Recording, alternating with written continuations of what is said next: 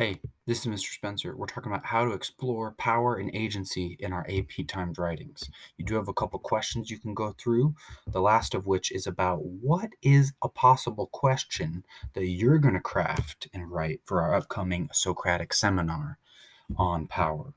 All right, so follow along with me here on the slides or in class there. Go at your own speed. Here's what I've come up with to help you out. All right. Power. It's a motif that exists in all texts. What's a text? Well, a text is anything that has information in it. We're an AP Lit, so we're studying literature, but you can apply this to anything in the world, whether it's a novel, a poem, a painting, current events in the news, a boyfriend or girlfriend who gives you information you have to evaluate. We're, we're trying to look at why power here. So, all information is influenced by movements of power. Plus, your own life is dictated by power, or lack thereof. How much freedom do others allow you to have? We wrote about this on a bell ringer January 19th. Check it out. The more you train yourself to look for power struggles or the influences of power in your own analysis work or English or social studies class or anywhere, the more sophisticated and complex your interpretations and interactions will be. And it might be even more meaningful. Your life could have more meaning. As we study our choice novels and the poetry this month in February, we will continue to remind ourselves to examine the underlying forces of power, agency, control, marginalization at work. What are politics?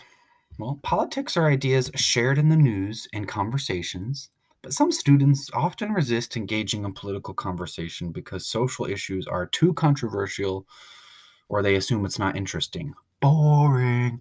I know when I was 16, 17 years old, I really didn't want to spend much time thinking about politics. What are politics? Well, it's essentially the system of how power is exerted or how people seek power. Politics equal power. Anytime you hear someone talking about politics or using the term politics, they're talking about power and how it's organized, managed, the system of power that we are all inside of, whether you like it or not. Anytime you discuss or analyze this, you're engaged in a political discourse.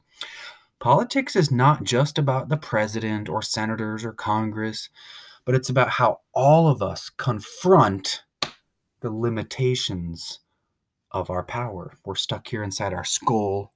We have two eyes, and our, our senses process all the information around us, but we're limited and there's very few people in this country that have power. Are you one of them?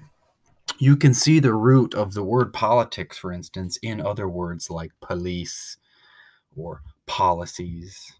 Okay, think about this. So, essential questions for our unit right now Who has power? Where does power come from? What cost is associated with power? How do those in power marginalize those without? Power is manifested most obviously through physical force. Okay. World history, the story of mankind, physical force, often violence, or power being manifested through the threat of physical force. People demonstrate power through violence, and this is seen most clearly in history through wars and military battles. I mean, you look at world history, you look at your US history class, it's organized around wars which are just a word we use to describe absolute violence. And that's a reality. So, what else about power? Well, other visible forms of power in our life involve authorities, government agencies that enforce control through either violence or the threat of violence or bondage, locking you up, taking you to prison, jail, house arrest, juvenile detention centers. You get the idea. In your personal life, power is likely enforced most directly by your parents, the police, yes, even your teachers enforcing power. In your own personal life, there might even be other people close to you that enforce power, such as your boyfriends, your girlfriends. For me, it's my dogs controlling my life. People like group leaders, even bullies or those that harass you or friends of yours. Do you have siblings or so called friends that try to control you? And more broadly, how is power manifested in government? Authorities and government agencies that most clearly demonstrate power in our modern world include the police, the courts, the state governments, the federal government nationally. Looking at how the United States federal government power is represented through Congress, the Senate, the House of Representatives, and agencies such as the FBI, the NSA, the CIA, Department of Homeland Security, the Office of the Presidency. Extrapolating the United States power structures across the world are the branches of the military. Okay, we have an Office of Foreign Affairs, and since the US is the most powerful military in the history of planet Earth, by all accounts, including we've got the Army, the Navy, the Coast Guard, the Marines, etc. Is your life directly influenced by any of these larger branches? It probably is more than you realized, directly, indirectly. As you turn 18, you'll start to see this manifest more and more. And because power structures are often abstract and they're what collections of ideas that people then enforce through violence or threats of violence, most power structures are invisible. The average person is, however, distracted by the iconography, the symbols, the concrete examples of power. Okay, we see them in the news, social media, police officers, buildings in Washington, D.C., the White House, for example, concrete examples of power structures. In real power, though, it is concentrated through abstract and invisible structures that prop up and support the institutions of government and corporations that control most of our lives, like the schools, the banks, the hospitals, the courts. Are you with me? Follow along. How do we apply this to literature? Life itself? A good student like you learns to identify the symptoms and byproducts of these power structures.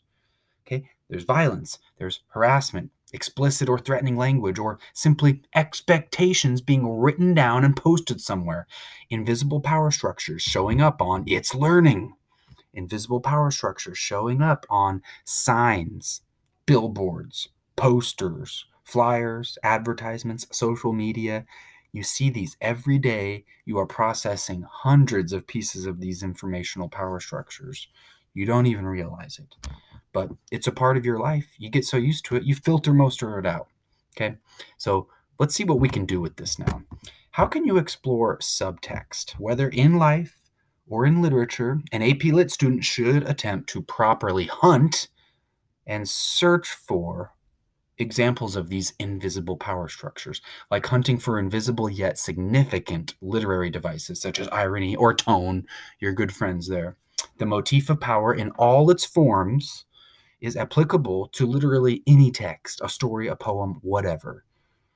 A poem might have only 25 words in it, for example, but those words are shaped, influenced, and limited by the invisible power structures that hide in the subtext. Okay, you're not just studying poetry. Okay, when we're looking at language and literature, you're finding out how people make meaning out of information. How do you make meaning in your life? Is your life meaningful? That's what the study of literature is. So look at a word like genocide. It's only eight letters long. Genocide. Yet it carries the weight of incredible power structures. And the connotation of a word like genocide fills up whole books, incredibly long Wikipedia articles. And this idea, the connotation of genocide, it can be used to convey incredibly complex political ideas and behaviors. Okay? One word is propped up and supported by incredible power structures. Okay? Consider other words like freedom, or words like ballet, or words like education. What invisible power structures support those? Ask yourself what invisible power structures influenced the Salem witch trials in the Crucible, or the tendency to judge or romanticize the past in The Great Gatsby. In my younger and more vulnerable years, my father gave me some advice that I've been pondering. Okay. Invisible forces like prejudice, marginalization, agency, sexism, racism, ageism, capitalism, psychological power structures like cognitive bias or conformity are common invisible motifs that you can use to explore subtext. And some of you are taking psychology classes right now. Think about how conformity and psychological constructs interact with these invisible power structures. All right? Where is the invisible? How do we find it? Other abstract ideas, such as laws and the concept of justice, are offshoots of this power hierarchy. How do laws, though invisible, limit our behavior?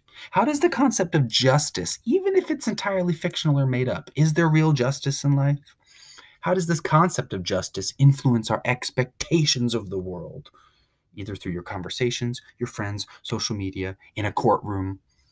And as you read your independent reading choice novel, have you considered what invisible power structures influence the characters or behaviors of people or the governments in your novel? Okay, some of those books, like Parable of the Sower or Station 11 or even Beloved, have governments that seem to be disintegrating whether it's around a post apocalyptic event or the Civil War in Beloved. Invisible forces like prejudice, marginalization, agency, sexism, racism, ageism, capitalism, psychological power structures like cognitive bias conformity, these are invisible motifs that you can use to explore the subtext. What about the power structure between Jane and Rochester? Or ugh, those noises coming from the attic? Or in Everything I Never Told You, or Their Eyes Are Watching God, what invisible power structures influence the behaviors of someone like Lydia Lee or the behaviors of someone like James in the affair or somebody like the main character of Their Eyes Are Watching God, Janie. What influences their behavior? Okay, look for those. They're invisible. You have to be trained to see them. So that's what I'm trying to do. I'm trying to train you. All right. The text is up here. These are all the things we can see on the surface level. This is surface level. Okay, you're good at seeing this. It's easy to see lots of these things the behaviors, the rituals, the artifacts, the physical environment. We see those when we read a text, a poem, a novel, or just in our own world. Okay, read the world like it's a text. This is the stuff down here, the subtext.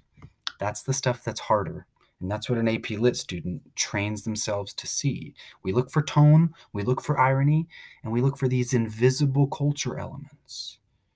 Okay, the perceptions, the embedded thoughts, the cultural values. Okay, the author doesn't write about them, and the people in your life don't talk about them explicitly, but they're there all the time. Like ghosts, like UFOs, they're flying around. You just have to be trained to see them. Can you identify the invisible power structures at play here? This is a painting called The Last Supper. It's one of the most famous events in Western culture, and Leonardo da Vinci painted this. This restoration painting here. What power structures are at play? Judas, Jesus, Christianity, Roman governments. Can you identify the invisible power structures at play here? This is the flag of France, freedom. This is liberty leading the people, a famous painting representing the French Revolution the proletariat, the bourgeoisie. Can you identify the invisible power structures at play here? You remember this painting? Oh, it's beautiful. What power structures are at play? The natural, the artificial. What cut down that tree trunk? Was it a man made axe? Artificial. What about the natural world over here? What about the sun? What about planet Venus right there? What power structures influence the elements of a text like this? I could talk for 10, 15, 20 minutes about this. I could talk for 10, 15, 20 days about this. But we're training ourselves to look for these invisible power structures in life, in literature. So, a good fancy concept to look at is agency. This is a college term, okay? A lot of people in college use this in their academic writing, but you're an AP Lit. We're trying to get that college credit, so take a look at it here. Agency, it's that precise, sophisticated term that describes the capacity to act or exert power. Okay, powerful people have agency. Powerless people, they lack agency. Agency is useful as an analytical term because it helps you identify and interpret how a person or a character or a group of people can gain agency throughout a text, incrementally, piece by piece, gaining agency. Okay, resisting or confronting the invisible power structures that control and limit them. Okay. She gained agency through sheer willpower, or somebody might lack agency because they are too young to vote. Okay. Is that you? Are you going to vote? You got to be 18 years old in this country. So, how does one gain agency?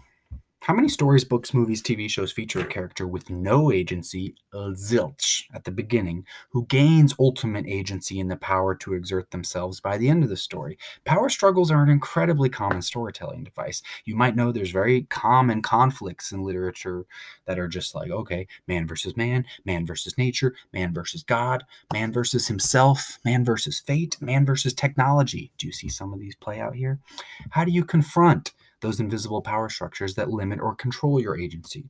It's easy to imagine a protagonist, the hero who lacks agency but wants something, and an antagonist like the villain who keeps it from them. This is in religious texts, stories about characters like Icarus or Jesus or Siddhartha.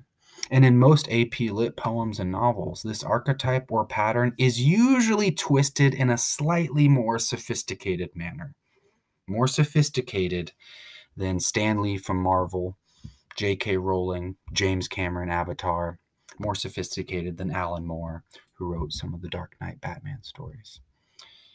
Okay, so one of the questions on your assignment is can you just think of a movie, TV show, or a book that features this kind of archetype or this pattern?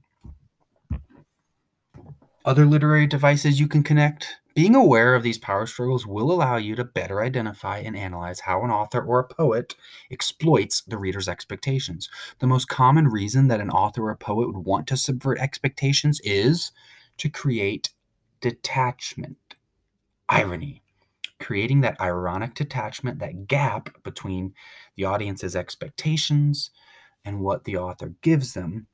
That's irony. It's beautiful. It's juicy. There's so much to analyze there. Look for it, hunt for it. You got to train yourself to see it. An author also explores power struggles because power influences nearly all universal themes. If power is political, which it is, then consider how any story with a power struggle could also be considered a political allegory. What's an allegory? It's a type of story that basically tells one story on the surface but there's a deeper story being told through the subtext. The most popular examples of that is through The Wizard of Oz, The Lion, the Witch, and the Wardrobe, Animal Farm, even The Scarlet Letter. These are examples of books that tell one story on the surface, but a political subtext is sort of underneath the surface level story. Okay, it's a piece of literature where characters, images, and or events act as symbols. It adds hidden meaning to the text. It uses symbolism, but it's broader and more general than just symbols.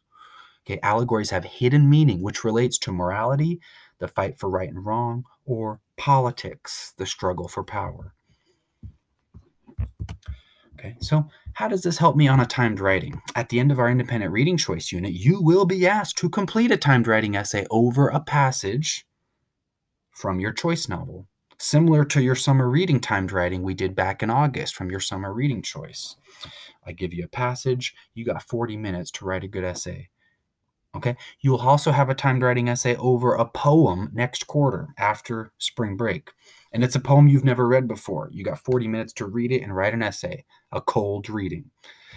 So remember, on the AP exam in May, that's the test to get that college credit here. You got to write three essays in two hours. So we're practicing this timed pressure. It's okay. We get better at it. It's a muscle and we develop it. Okay. So, how are you going to fit into this? This is what it would look like for example, this is a 2018 poetry prompt. Okay, you get a few ideas like what's the complex relationship between the speaker, the implied audience, and plant life? Okay, this was the poem Plants by Olive Senior And they suggest a few literary techniques like syntax, diction, figurative language. What else can you look for? Well, certainly tone. How does an author convey meaning through tone? Irony. And what are we talking about now? Hello, power, agency, political subtext. What power struggles are occurring? What power struggles have influenced the surface level meaning of this text? How does it operate on a subtext or subconscious level? It's interesting stuff. Are you interested in it? I'm pretty interested in it. So, your practice timed writing essays will be graded on that AP six point rubric where you can earn one point for your original thesis, up to four points for quality of evidence, and one point for your level of sophistication. All right, that's the AP rubric. Ask yourself what invisible power structures can you train yourself to identify and look for in a passage or poem that you're tested over? Okay, a reminder you've got marginalization, prejudice, sexism, ageism, cognitive bias, conformity. Look for some of these in every poem, play, or story that you read. My suggestion is to think of power as a binary, okay? The haves and the have nots. Okay, in computer language, binary is ones and zeros. The light switch is on or the light switch is off. You have it or you don't. Who has power? Who doesn't? But they want it. The use of binary opposition in literature is a system that authors use to explore differences between groups of individuals, the cultural, the class, or gender differences. And authors may explore the gray area, that interesting area between these opposing forces, and see what can result from those perceived differences. Okay, so this is another college term, binaries, that you can use in your analysis. Okay, organize your analysis of power around like you could do this on perusal for the poem bank, you could do this for your choice novel or these upcoming timed writings. Think what are the parameters of the power struggle? Where are the boundaries, the parameters? Where do you draw the line around it? Who are the victims of the power struggle? The ones that get marginalized. How is agency gained or lost in this struggle? What power struggle or what power structures ultimately are dismantled or strengthened in the end? This type of framework can be applied to any text. Okay, but we're training ourselves to get used to looking for this because it's invisible. You can't see me. So you got to look very carefully and train yourself to hunt for this in the subtext. Another strategy that you might try when analyzing a text is to mentally pit two characters or elements against each other to see who has more agency. You know, choose two characters like Abigail Williams and Mary Warren from The Crucible. Mentally contrast them against each other. Okay, in this exercise, although the two characters may appear generally, they're both teenage girls in Salem, Massachusetts in 1692, they might seem to have similar power or social status, you can quickly determine what sets one apart from the other. For instance, one of them works for John Proctor, one of them used to work for John Proctor. One of them has influence over John, and it's not Mary anymore. One of them does not have influence over John. So when you sort of do this mental exercise, you'll see, all right, these these characters have similar power. Yes, but one is stronger than the other. Someone like Abigail clearly possesses more agency because she is more cunning and manipulative than Mary. For better or worse, that's the truth. And them's the breaks. Okay. So, how else could you look at this? Binary oppositions, a technique where an author positions two ideas in opposition to each other exploring those differences. This is also sometimes considered a juxtaposition. Okay? Batman, the Joker. Okay? One is serious, one is absurd. Kylo Ren and Rey from the new Star Wars trilogy. I loved it. Don't care what anyone else says. The Last Jedi was excellent. The Rise of the Skywalker was amazing. Okay? So, another useful strategy binary oppositions Here's an example from one of the most popular series ever, J.K. Rowling's Harry Potter. Think binaries. There's two major groups, the magical community and the non-magical community. Okay, the yin and the yang. Harry and Voldemort, though, are binary opposites within the magical community. One is good, one is evil. Very simple, right? But Harry's quest is not just to liberate the magical community, but also he wants to liberate the non magical muggles. His quest for power is thus noble the quest for power and agency plays out on both the literal surface level in the narrative, but also on a more abstract philosophical level.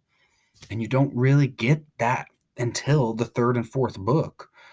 Okay, so when you've reached the goblet of fire and you see the prisoner of Azkaban, you see J.K. Rowling is operating on this subtextual level. And the books become much more mature because the themes and the political allegories underneath are much more complex. Okay, so a theme idea would be J.K. Rowling shows the dangers of creating such categor- categorizations within society. You got to be careful when you create this social hierarchy because it can be very dangerous. So, that's one example.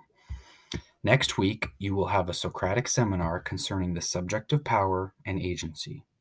Google Meet video and Parlay will be included hybrid bridge students, they can go on live as well, or asynchronously, they can get on Parlay. But I'm going to try to do it live during class. At the time of me filming this video, we don't know whether or not we're on hybrid. So we'll see how many people are in the classroom live, but we'll make it work somehow, some way, right? Two general discussion questions that can be focused on what? Social, historical, or cultural power struggles in your real life, current events in the news, or literary connections to your choice novel or the poem bank. Maybe you want to bring up anyone lived in a pretty how town. Maybe you got a question about the groundhog or Jericho Brown's The Tradition, The Emperor of Ice Cream, or any of the other poems we're looking at. Note, not everyone in class is reading your choice novel.